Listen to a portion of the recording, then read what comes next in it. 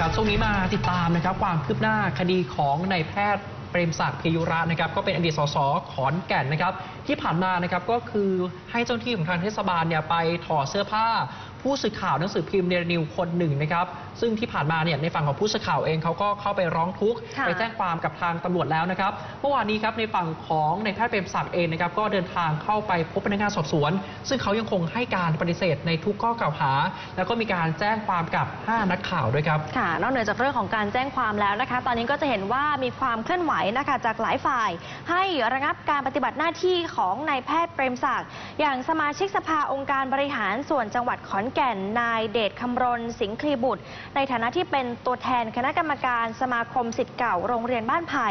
เขาก็ไปยื่นหนังสือกับนายประเสริฐ ลือชาธนานนท์รองผู้ว่าราชการจังหวัดขอนแก่นค่ะ บอกว่าให้ระงับบทบาทของนายแพทย์เปรมศักดิ์ทั้งในการเป็นประธานกรรมการโรงเรียนบ้านไผ่แล้วก็ให้ระงับการปฏิบัติหน้าที่นายกเทศมนตรีเมืองบ้านไผ่ด้วย และให้ไปตรวจสอบ เรื่องการปลดพนักงานเทศบาลบ้านไผ่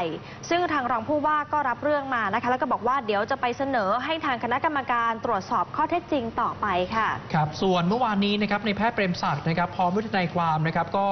เดินทางไปที่ศูนย์ปฏิบัติการและเทคโนโลยี สพบ้านไผ่นะครับก็เข้าไปรายงานตัวต่อพนักงานสอบสวน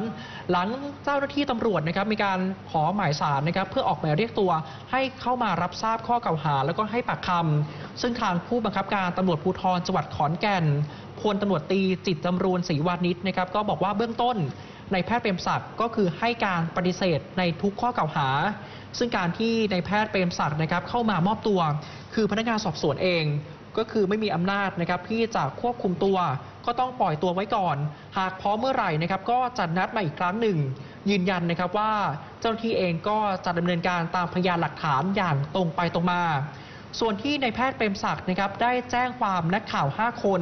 ในข้อหากักขังหน่วงเหนียว หลังจากที่ลงบันทึกประจำวันไว้แล้วนะครับ ส่วนในเรื่องของข้อหาบุกรุก อันนี้ก็อยู่ระหว่างการสอบสวน ซึ่งทางตำรวจบอกว่าการแจ้งความกลับนะครับ ก็ถือว่าเป็นสิทธิ์ของนายแพทย์เปรมศักดิ์ซึ่งตำรวจเองก็จะรวบรวมพยานหลักฐานเพื่อที่จะดำเนินคดีต่อไปครับค่ะ